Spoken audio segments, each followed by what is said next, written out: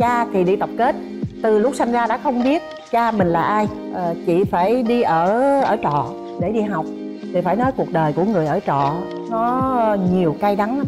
Chị ờ, ở sài gòn cũng là nhà mướn ở chung với bà chị chị ruột. Cơm có ăn nhưng mà ăn với muối trắng. Ăn riết rồi đến mức mà hai con mắt mờ luôn. Mà tiếc một cái đang ăn thì lại giật mình thức dậy tiếc ngẩn tiếc ngơ là sao mình không được ăn hết cái xôi đó rồi mình hãy giật mình dù chỉ là ăn trong giấc mơ, mỗi một thời điểm mình làm nó có những cái khó khăn khác nhau.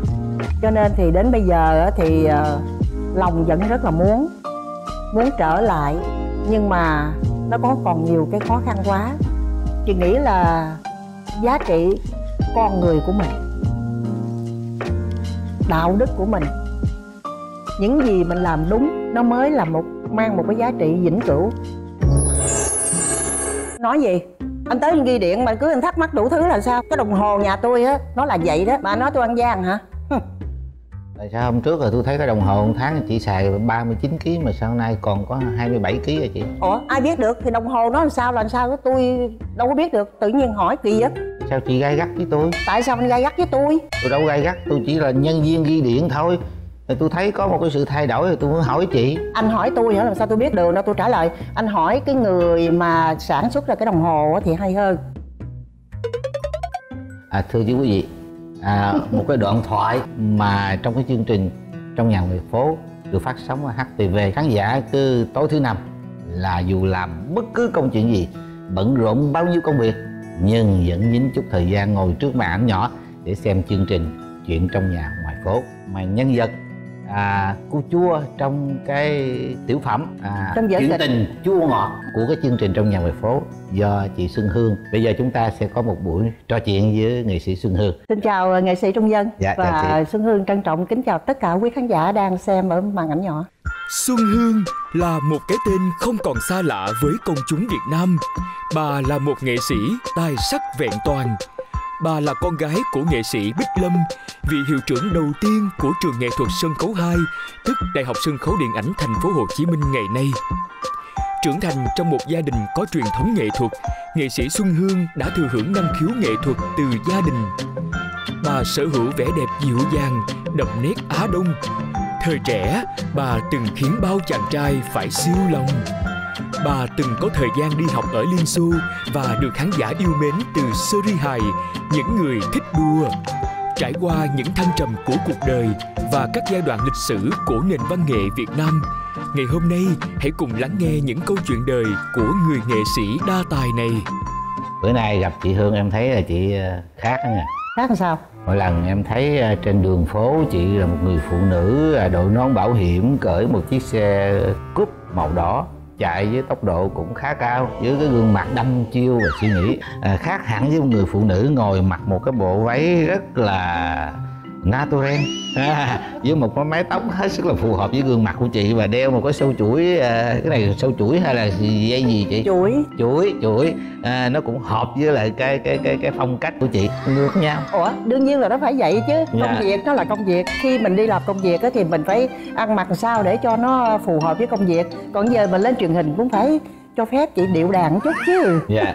À cái thời mà chị còn trẻ đó chị. À, em nhớ không lầm. Vậy là giờ già lắm hả? Em em em có điều tra sơ bộ. À, chị cũng thuộc dạng là con nhà nòi á.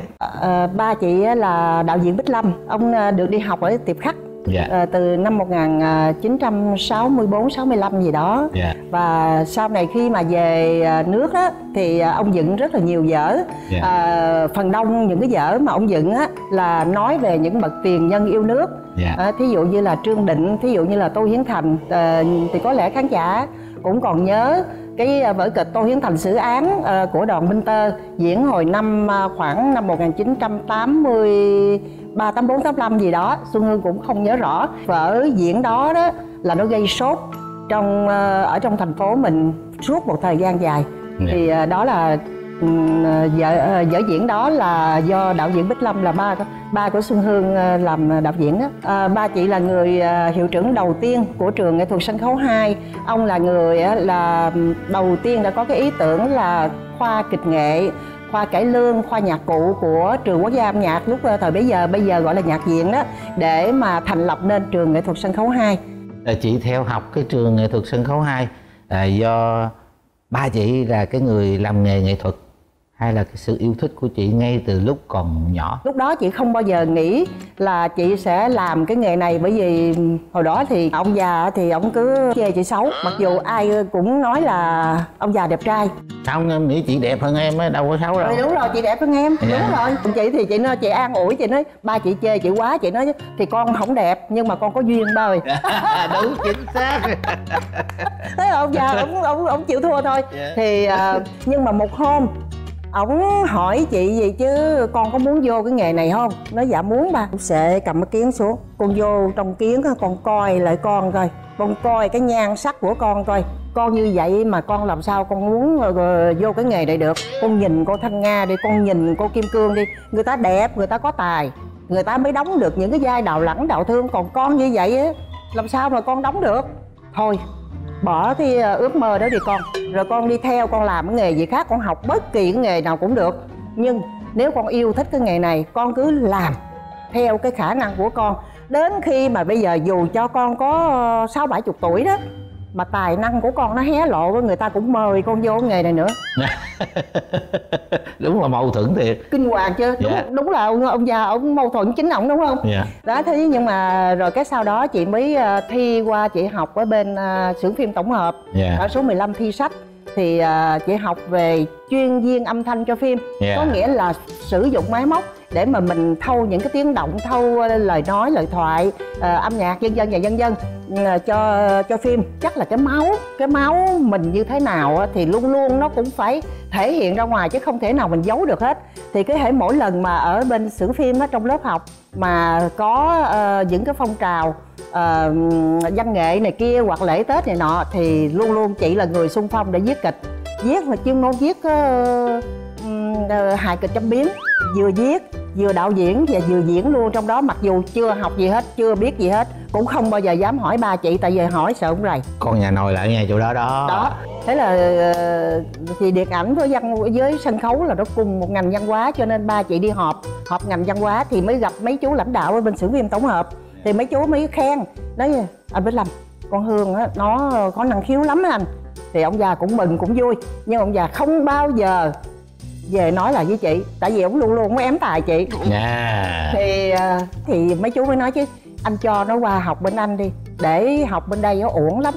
Thế là lúc đó đó thì ba chị mới hỏi gì chứ con có thể nào con um, ráng con học uh, 4 năm nữa không? Nó dạ chi vậy ba nếu mà con khoan lấy chồng con học con muốn học thì con hãy thi vô lớp đạo diễn thì con làm đơn đi con thi.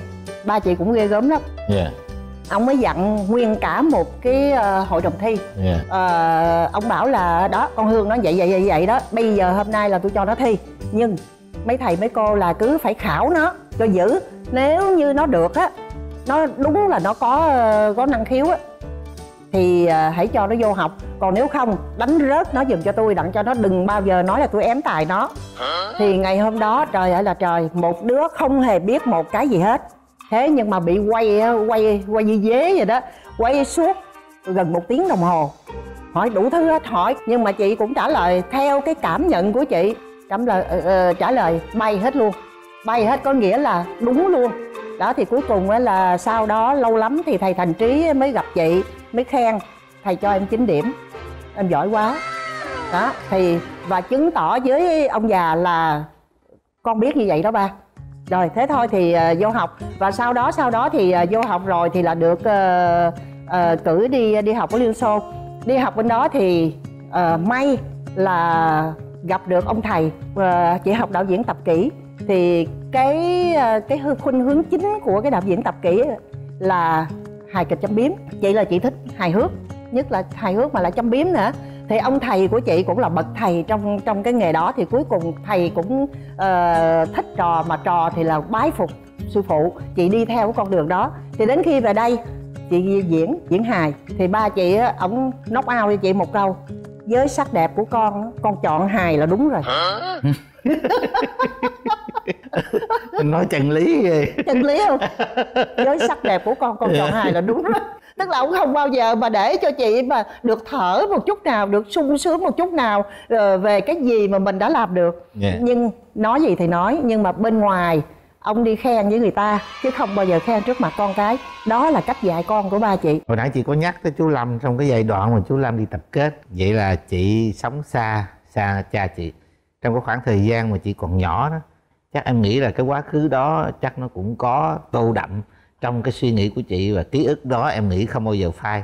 Nhưng mà đối với chị đó thì nghe đến hai cái từ này cái buồn nó nhiều hơn cái vui. Ngược thời gian chút xíu về cái khoảng à, lúc mà chị ờ, mới vừa sinh ra cho đến bốn năm sáu tuổi thì phải nói ông ngoại chị là à, ông cai tổng ở một cái vùng huyện Đức Huệ tỉnh Long An.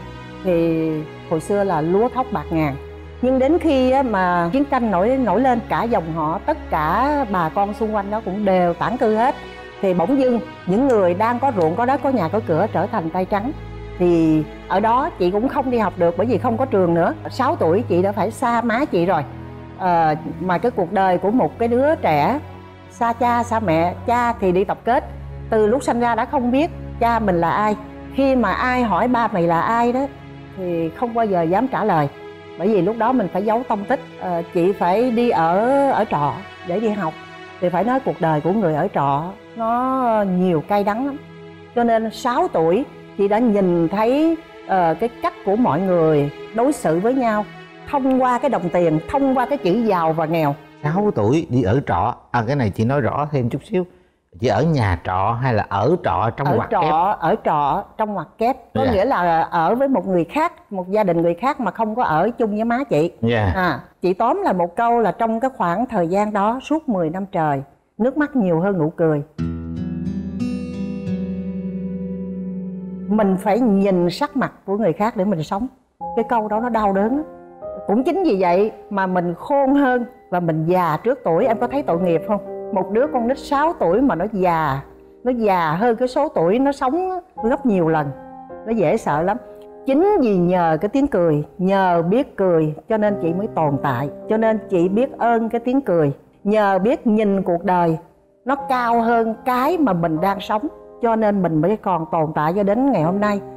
Quá khứ của chị mặc dù nó đau buồn, nhưng chính nhờ cái đau buồn đó đó mà nó mới làm nên một con người của chị chính vì chị sống quá khó khăn quá vất vả quá đau đớn đau đớn chứ không phải là đau buồn nữa quá cực khổ đến một cái lúc mà chị không chịu đựng được bởi những cái lời cay nghiệt những cái sự đối xử nó quá là thì chị mới từ bỏ từ bỏ cái cái, cái nơi mà chị đang ở trọ để đi đến đi xuống dưới ờ, dưới dưới dưới, dưới Sài Gòn. Trung dân có biết là chị ờ, ở Sài Gòn cũng là nhà mướn ở chung với bà chị. Chị ruột, cơm có ăn nhưng mà ăn với muối trắng. Không có tiền để mua được cái trái ớt mà giả muối ớt cho nó cay cay để mình ăn cho nó đỡ một chút. Ngày nào cũng vậy, cứ nấu cái nồi cơm ra, rồi là cứ muối sẵn đó rồi ăn. Ăn riết rồi á, đến mức mà hai con mắt mờ luôn.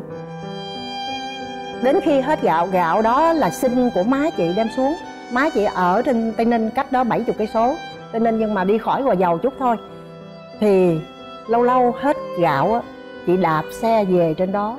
Đi bằng xe đạp trong túi chỉ có đâu chừng à, mấy đồng bạc thôi không tới 10 đồng. 10 đồng đó không biết bây giờ đó là chị cũng không biết là uh, so sánh khoảng chừng đâu chắc là chừng 50 ngàn của bây giờ đó khoảng vậy thôi. Uh, và đem theo một chai nước. Đạp xe hãy tới đâu mệt quá thấy cái bóng râm có cái cây thì vô đó ngồi nghỉ uống miếng nước rồi chút nữa đi tiếp. Mà 50 đồng đó không dám ăn cái gì hết lỡ bể bánh xe còn có cái để mà mình mình giá xe cứ như vậy đi lên trên ờ, trên ờ, về nhà bằng xe đạp rồi trở xuống chở mười mấy ký gạo xuống để để hai chị em ăn. Đến mức mới có một cái câu chuyện như thế này là dân mà không biết kể ra thì à, mọi người không biết là cười hay là khóc. Thì đi học á, cũng đi bằng xe đạp từ nhà đi đến trường á, thì đi qua một cái khu chợ. Mỗi ngày cứ đi ngang đó thấy có một cái cô đó cổ bán à, cổ có một cái xe đạp cổ ràng lên trên cái cái cái ba ga một cái chỏ xôi. Thì thấy để xôi khúc. Không biết xôi khúc là cái xôi gì và thèm ơi, là thèm. Và ngày nào cũng thấy xôi khúc mình không bao giờ được ăn, bởi vì tiền đâu mà mua. Thì đến một hôm, chị nằm mơ, chị thấy mình được ăn xôi khúc. Nó giống y như cái xôi khúc mà bây giờ mình biết. Trời ơi, chị ăn mà nó ngon ơi, là ngon đầu tiên hết, là chị nhai những cái hột nếp á. Trời ơi, nó dẻo mà nó ráo, mà nó ngon vô cùng. Xong rồi tới cái xôi khúc thì nó có một cái bánh giống như bánh nếp trần vậy đó, phải không? Thì người ta bỏ vô trong ờ, trong nếp á, người ta mới là hấp lên đó thì ăn đến cái lớp mà cái lớp bột của cái bánh ít trần á trời ơi nó dẻo nó ngon. Rồi ăn tới cái nhân đậu xanh rồi còn có miếng mỡ. Phút mà mình ăn trong giấc mơ mà tiếc một cái đang ăn á thì lại giật mình thức dậy tiếc ngẩn tiếc ngơ là sao mình không được ăn hết cái xôi đó rồi mình hãy giật mình. Dù chỉ là ăn trong giấc mơ. Phải nói là trong cái cảnh nghèo như vậy đó thì uh, chị càng ráng học hơn nữa để mình cố làm sao bây giờ mình phải thoát khỏi cái cảnh này.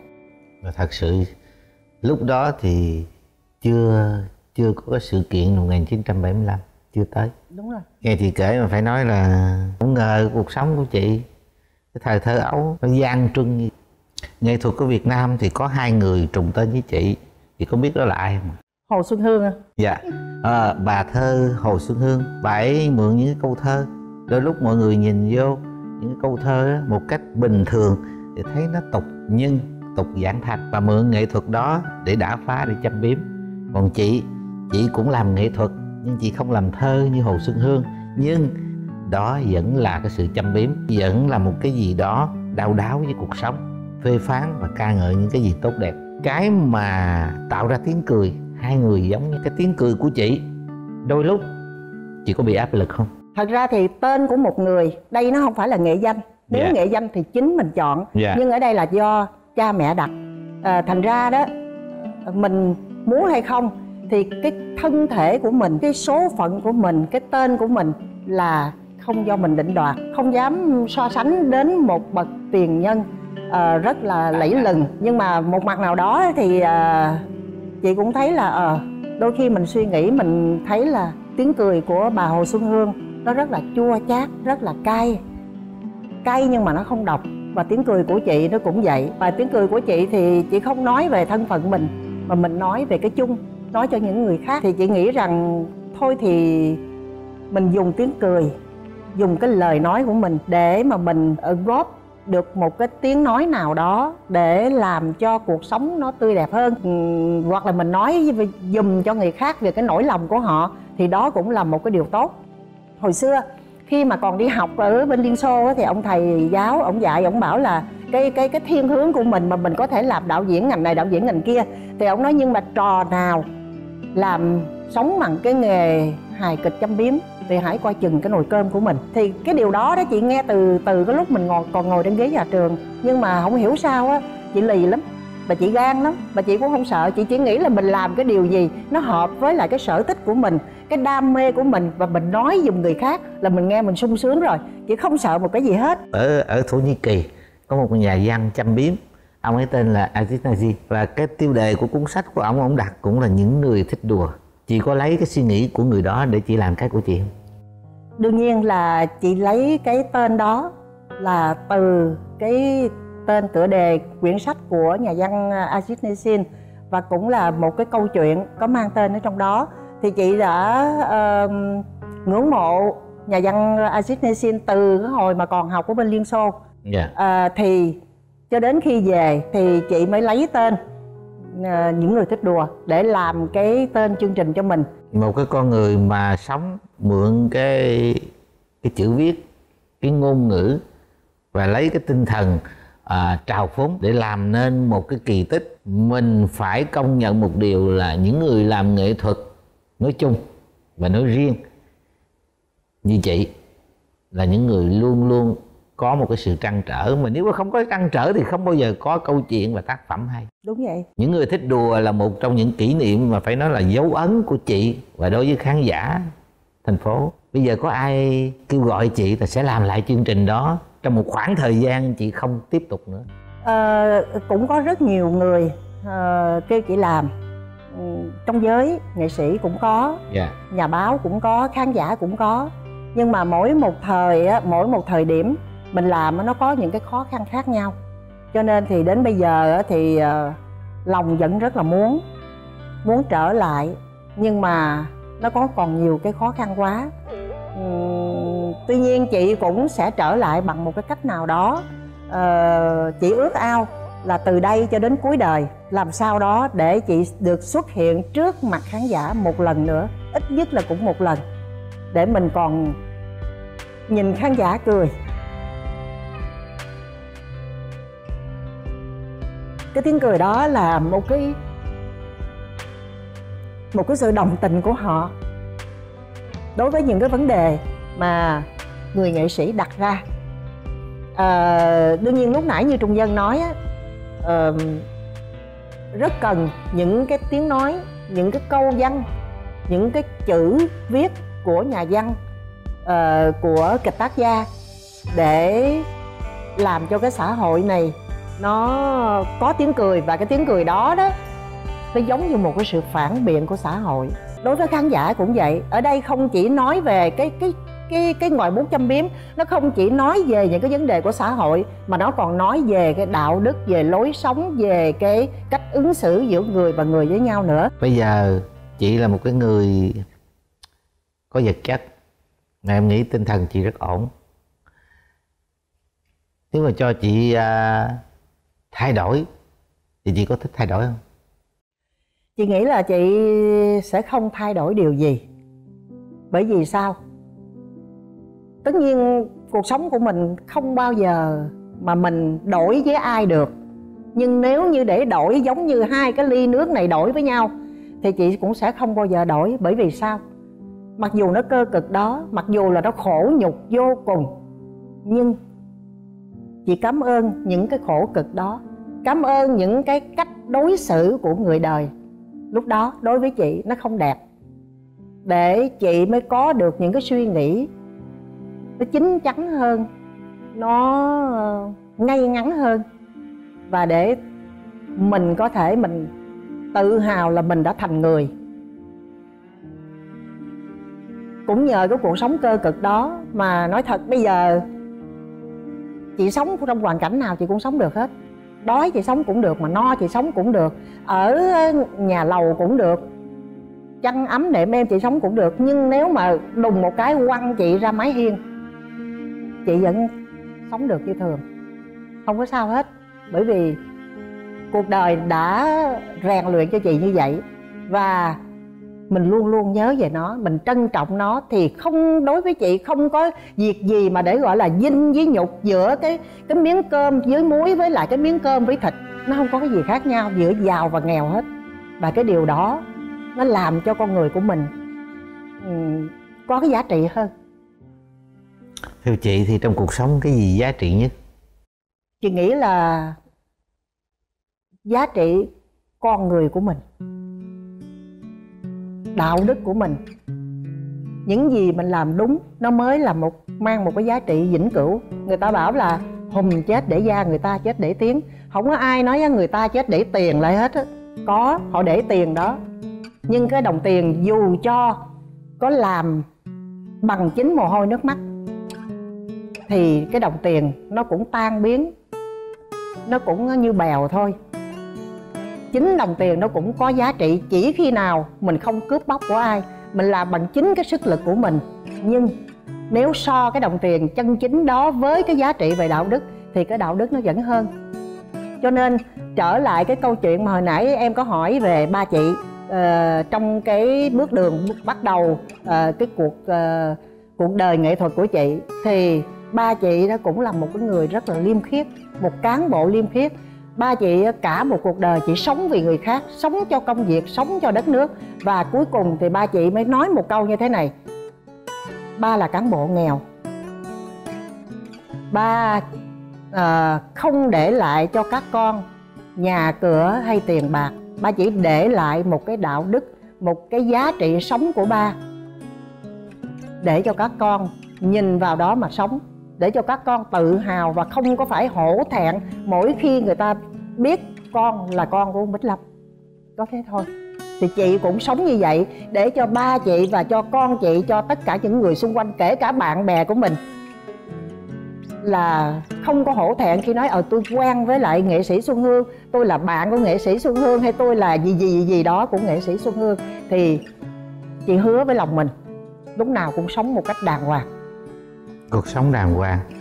Thế thôi. Ừ, cảm ơn chị. Cảm ơn uh, trung dân. À, cảm ơn chương trình.